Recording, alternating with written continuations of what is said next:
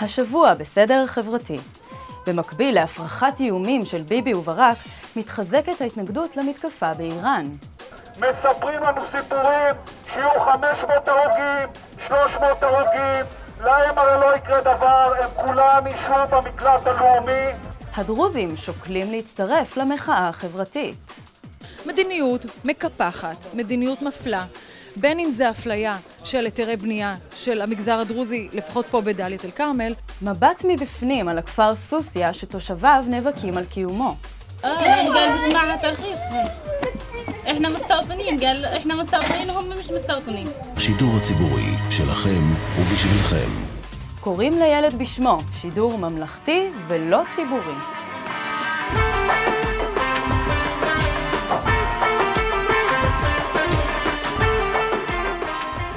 סדר חברתי, מהדורת האקטואליה של הטלוויזיה החברתית. בשבועות האחרונים, במקביל לקמפיין ההפחדה המתנהל בתקשורת המרכזית, מתחזקת המחאה הציבורית נגד תקיפה אפשרית באיראן. בשבוע שעבר התקיימה הפגנה בקריה בתל אביב, וביום ראשון הפגנה מול ביתו של שר הביטחון אהוד ברק. מספרים לנו סיפורים שיהיו 500 הרוגים, 300 הרוגים, להם הרי לא יקרה דבר, הם כולם ישבו במקלט הלאומי. אני באתי לכאן כאזרחית מן השורה, אני לא מהמארגנים של ההפגנה הזאת, אבל אני קלטתי שהחרדה הקיומית חוזרת לשיח. שבמקום שיח של חיים, שזה מה שהיה פה במהלך חודשים ארוכים קיץ שעבר, שבו אנחנו מנסים להיאחז, מנסים לגמור לנו את החיים, אבל כל פעם אומרים כן יהיה, לא יהיה גם. אנחנו לא צריכים להגיד לכם תודה שאנחנו בחיים, אנחנו בחיים! תפסיקו לזלזל בהם! אנחנו קוראים מפה למשמרת מחאה יומית. כל האלפים שמתכוונים לצאת אחרי שתהיה מלחמה, אחרי שיהיו הנזקים, אחרי שלא נוכל לשנות, מתבקשים לבוא מחר בערב, מחרתיים בערב, וכל ערב... במקביל לפעולות המחאה נוסדה לה עצומה חדשה, הקוראת לטייסי חיל האוויר לסרב לפקודה להפציץ את איראן. כאזרח ישראלי אם אני בעד סירוב פקודות, לא, אני לא בעד סירוב פקודות. אתה שואל אותי אם אני מקשיב ללב שלי או אם אני מקשיב ללב של אנשים אחרים? כן. אין לי תשובה חד משמעית בעניין. מה, זה בהחלט לגיטימי, כי טייס הוא לא רובוט. יש לו אפשרות לחשוב ולהשתמש בראש שלו, ואנחנו קוראים להם באמת להשתמש בו. אנחנו נעצור את זה. שני המטורפים ילמדו שבמדינה דמוקרטית אזרחים יכולים לעצור פסיכופטים. איזה טייס ואיזה טנקיסט צריכים לצאת למלחמה הזאת? מי צריך לשפוך את הדם שלו בשביל הביבי המחורבן הזה? מי? אני לא רוצה, אני הייתי מתחננת בפני אנשים, אל תצאו, אל תסכימו, תסרבו. לאור העובדה ששלוש המלחמות האחרונות שיזמה ישראל עוררו הפגנות, מכתבים ועצומות שזכו להתעלמות מהשלטונות, נשאלת השאלה מה מידת השפעתם של אזרחים במדינת ישראל הדמוקרטית. כאמור, מדי ערב מתוכננת הפגנה נגד תוכנית המתקפה באיראן. ולמחאה אחרת שזוכה להתעלמות. המחאה החברתית שדרשה צדק חברתי לכולם, די דילגה לחברה הערבית. פעילים בולטים ופעולות מחאה בקרב החברה הערבית בכלל והדרוזית בפרט כמעט ולא נראו כלל. מלכתחילה אמרנו שהמחאה הזאת אמורה להיות חוצה גבולות אתניים, לאומיים, עדתיים, בין דתיים וחילונים ועוד, חרדים ולא חרדים. ואנחנו מאז ומתמיד פעלנו כדי שזה יהיה כך. אני חושב שנטל ההוכחה הוא מוטל על החברה היהודית בכלל ועל תנועת המחאה בפרט. לצורך שינוי המצב, ארגנו פעילים חברתיים מפגש בעיר דאלית אל כרמל. באמצעותו ניסו לבחון דרכים לרתימת הדרוזים למחאה החברתית. אני חושב, כלפינו, כלפי המגזר הדרוזי, אני יודע שיש בעיות. עדיין לא הגענו ממש למצב, למודעות מספקת, מעמיקה, להבין שאנחנו באמת צריכים לצאת מהבית ולהיאבק למען מדינת רווחה, למען מדינה ממש לכל אזרחיה. על השולחנות העגולים הונחו סוגיות בוערות בחברה הדרוזית, שבראשן בעיות הדיור. ואנחנו מדברים ומגיעים להכרה שהבסיס לנושא בסופו של יום זה מדיניות ממשלתית. מדיניות מקפחת, מדיניות מפלה, בין אם זה אפליה של היתרי בנייה של המגזר הדרוזי, לפחות פה בדאלית אל כרמל, ובין אם זה דיור שאינו בר השגה למגזר היהודי. אז האם בקרוב נראה את הדרוזים מניפים גם הם את דגל המחאה החברתית? ימים יגידו. ומערבים טובים לערבים רעים. הכפר הפלסטיני סוסיא עלה לאחרונה לכותרות בשל צווי ההריסה שהוצאו לבתי הכפר. תושבי סוסיא, למודי ניסיון ומאבק, מנסים לשנות במעט את גורלם העגום. איתם במאבק לוקחים חלק גם פעילות ופעילים ישראלים. על המאבק בסוסיא בכתבה המרכזית. בזמן שההורים בארץ מתלבטים בין ההיצע הגדול של גני הילדים, ההורים בכפר הפלסטיני סוסיא מקווים שהאוהל הזה, שאמור לשמש גן ילדים בשנת הלימודים הקרובה, ישרוד ולא ייהרס. בכפר סוסיא, הנמצא בדרום הר חברון, בשטח שליטה ישראלית מלאה, החיים לא קלים. אין מים זורמים ואין חשמל. התושבים מתקיימים מחקלאות בסיסית וסובלים משכנות לא טובה.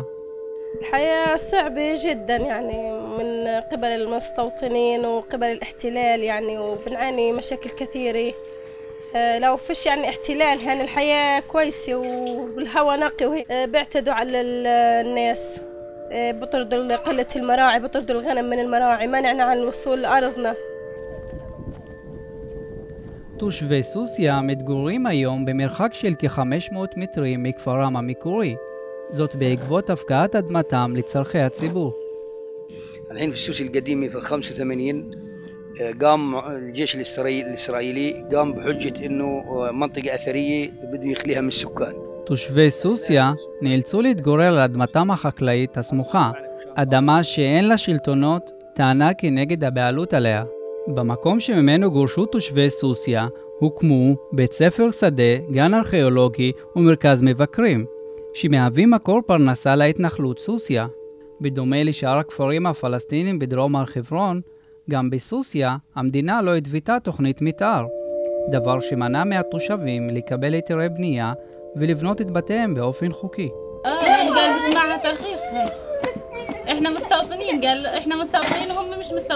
רגבים, עמותת ימין הפועלת לשמירה על אדמות הלאום של העם היהודי, עתרה לבג"ץ כדי שיורה להרוס את המבנים של תושבי סוסיא בשל הבנייה הלא חוקית. ניתנו פה צווי הריסה סופיים לשישה מתחמים שכוללים פחות או יותר את כל סוסיא הפלסטינית.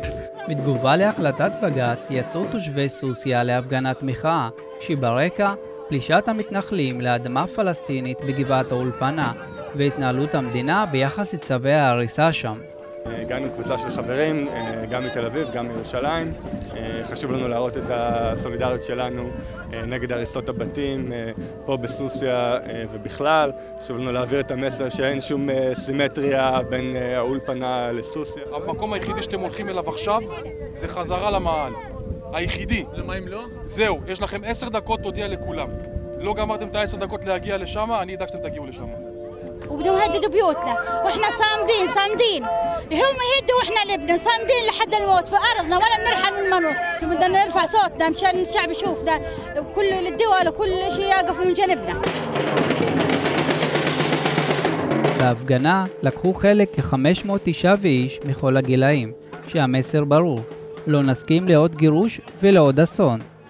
לא חושבת שזאת הדרך היהודי, אני לא חושבת שאם יש כזה רעש על חמישה בתים בבית אופנה, שפה אפשר לבוא ולהרוס ולהרוס וגם לסתום לאנשים את בורות המים שלהם, לא לתת להם גישה למים.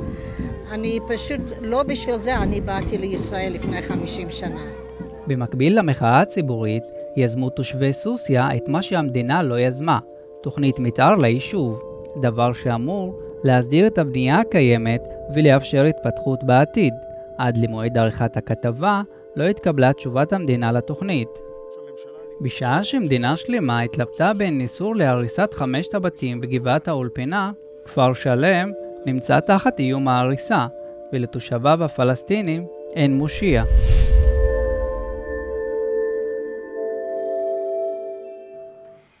ולנושא אחר, מצבה הכלכלי הקשה של רשות השידור לא מנע ממנה לצאת בקמפיין חדש המתיימר למצב אותה כגוף המספק שידור ציבורי, מוביל, נבדל ומשפיע.